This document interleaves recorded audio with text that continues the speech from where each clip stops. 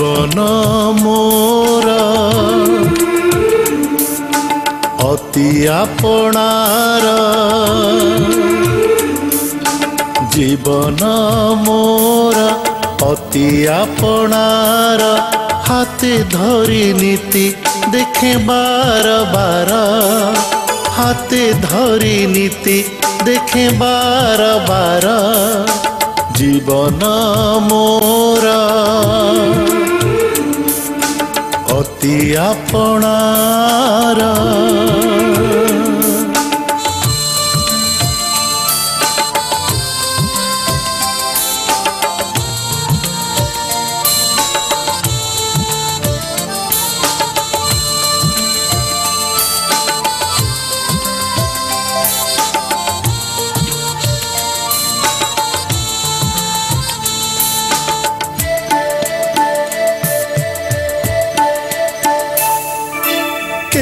फूला फुटी বাস যায় উড়ি বৌদ আকাশে আসে মাড়ি মাড়ি কেবে বাউ শ্বাস কেবে গুরু ভার এই জীবন মোর অতি আপনার অতি আপনার অতি আপনার জীবন মোর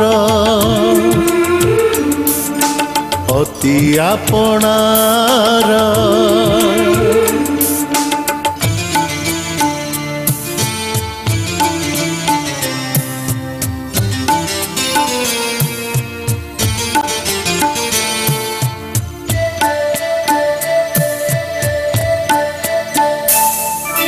জীবন যেতে যায় বড়ি বড়ি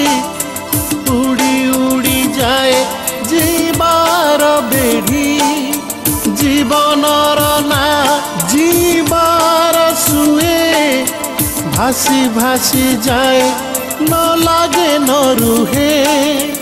অলি অরদলি না তুটে কাহার। অলি অরদলি ন তুটে কাহার, ন তুটে কাহার, ন তুটে কাহার। জীবন মোরা ଅତି ଆପଣାର।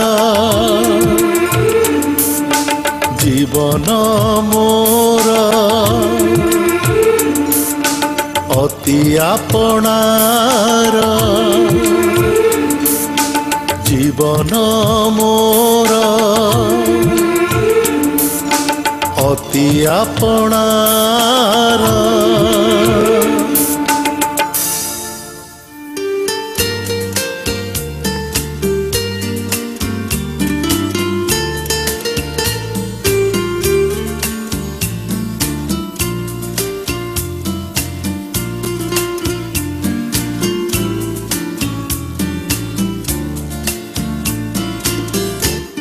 ଦୀର୍ଘ ଶହେ ବର୍ଷର ଇତିହାସର ସାକ୍ଷୀ ସିଏ। ସାକ୍ଷୀଟିଏ ପୁଣି ଓଡ଼ିଆ ସାହିତ୍ୟ ସଂସ୍କୃତି ରାଜନୀତିର। ପ୍ରଦେଶ ଗଠନ ଓ ସ୍ୱରାଜ୍ୟ ଆହ୍ୱାନର ବିପ୍ଳବୀ ବୀର ସେ ସେ ଦେଖିଛନ୍ତି ପରାଧୀନତାର ଦୈନତାକୁ ଆଉ ଲଟିଛନ୍ତି ସ୍ୱାଧୀନୋତ୍ତର ସଠତା ବିରୁଦ୍ଧରେ। ସାଧନାର ସଂକଳ୍ପର ଶହେଟି ଶରତକୁ ଅତିକ୍ରମ କରିଛନ୍ତି ସେହି ପରମ ପୂଜ୍ୟ ଶତାୟୁ ନିତ୍ୟାନନ୍ଦ ମହାପାତ୍ର।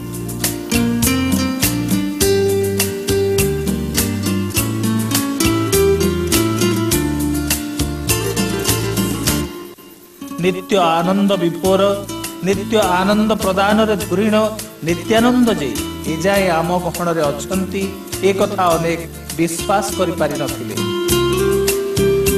କଳିକାଳର ରୀତି ଷଠି ସଠା ଷାଠିଏକୁ ଭୁଲ ପ୍ରମାଣିତ କରି ଜଣେ ଏକାନ୍ତ ବୈଷ୍ଣବ ନିତ୍ୟାନନ୍ଦ ଆଜି ଏକ ଅଭିନବ ବିଗ୍ରହର ରୂପ ନେଇଛନ୍ତି।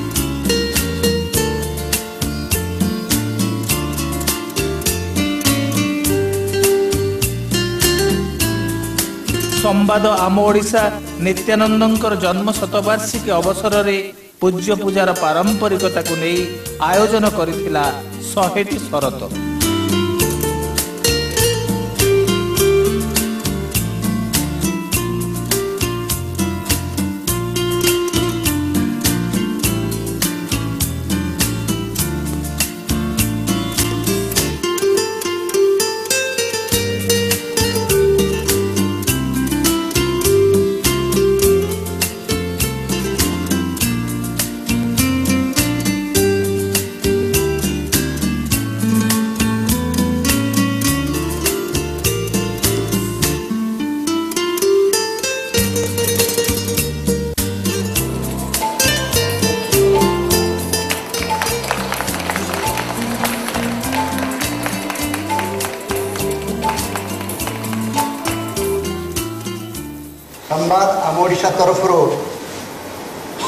ଆଜି ଆପଣମାନଙ୍କୁ ଏଠି ଛିଡ଼ାଇ ସ୍ୱାଗତ କଲାବେଳେ ସ୍ୱାଭାବିକ ଭାବରେ ମୁଁ ଅତ୍ୟନ୍ତ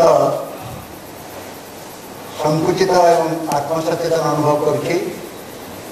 ଦୀର୍ଘ ପଚିଶ ଛବିଶ ବର୍ଷ ଭିତରେ ଯେତେ ଗୁଡ଼ିଏ ଅନୁଷ୍ଠାନ ସହିତ ଆମ ଅନୁଷ୍ଠାନ ସମ୍ପୃକ୍ତ ଯେତେ ଗୁଡ଼ିଏ କାର୍ଯ୍ୟକ୍ରମ ଆମେ ହାତକୁ ନେଇଛୁ ମୋ ବିଚାରରେ ଆଜିର କାର୍ଯ୍ୟକ୍ରମଟି ମୋତେ ସବୁଠାରୁ ବେଶୀ ଆନନ୍ଦ ଦେଉଛି ଏଭଳି ଗୋଟିଏ କାର୍ଯ୍ୟକ୍ରମ ଆମେ କରିପାରିବୁ ଆଜିର ଆମର ମୁଖ୍ୟ ଆକର୍ଷଣକୁ ନିଜ ଗହଣରେ ପାଇ ଆପଣମାନଙ୍କର ସମସ୍ତ ସମସ୍ତଙ୍କର ଉପସ୍ଥିତିରେ ଏଭଳି ଗୋଟିଏ କାର୍ଯ୍ୟକ୍ରମ ଆମ ସମସ୍ତଙ୍କୁ ଅଧିକ ଉତ୍ସାହିତ କରୁଛି ଏବଂ ମୁଁ ମୋ ପରିବାର ଏବଂ ଆପଣମାନଙ୍କୁ ମିଶାଇ ଆମେ ସମସ୍ତେ ଏକମତ ହେବା।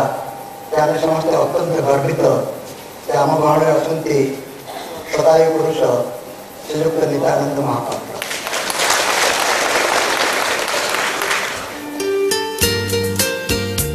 ଆମ ଓଡ଼ିଶାର ଅଧ୍ୟକ୍ଷ ଶ୍ରୀଯୁକ୍ତ ସୌମ୍ୟରଞ୍ଜନ ପଟ୍ଟନାୟକ ଶହେଟି ଶରତ ମଞ୍ଚରେ ନିତ୍ୟାନନ୍ଦ ବାବୁଙ୍କୁ ପହଞ୍ଚାଇ ତ ଭାବ ଗଦଗଦ ହୋଇଯାଇଥିଲେ।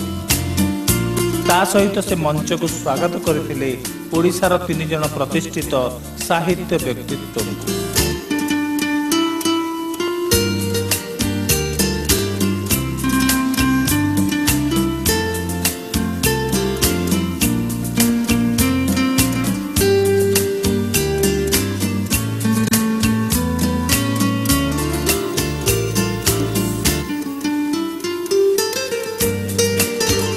ମହାପାତ୍ର ନୀଳମଣି ସାହୁ ରମାକାନ୍ତ ରଥ ସୀତାକାନ୍ତ ମହାପାତ୍ର ନିତ୍ୟାନନ୍ଦ ବାବୁଙ୍କର ସମାସ୍କନ୍ଦ ନହେଲେ ବି ଏମାନେ ହେଲେ ନିତ୍ୟାନନ୍ଦ ବାବୁଙ୍କର ଚଳଚଞ୍ଚଳ କର୍ମତତ୍ପର ଜୀବନକୁ ଦେଖିଥିବା ପୁରୁଖା ମଣିଷ। ଜଣେ ଶତାୟୁ ପୁରୁଷ ଓଡ଼ିଶା। କେବଳ ଶତାୟୁ ପୁରୁଷ ନୁହଁ ଶହେଟି ଶରତ ସେ ବଞ୍ଚିଛନ୍ତି। ଜୀବନରେ କେତେ ଗ୍ରୀଷ୍ମ କେତେ ବର୍ଷା କେତେ ଶୀତ ମଧ୍ୟ ସେ ସହିଛନ୍ତି। ଏକ ବିରାଟ ବ୍ୟକ୍ତିତ୍ୱ ବିରାଟ ସାହିତ୍ୟ ସ୍ରଷ୍ଟା ସମାଜସେବୀ। ସେକୁ ଆଜି ଆମେ ଶହେ ବର୍ଷ ପୂର୍ତ୍ତି ପାଇଁ ଏଠି ସମସ୍ତେ ଆମେ ତାକୁ ଆମର ଅର୍ଘ୍ୟ ଜଣୁ ଦେଉଛୁ।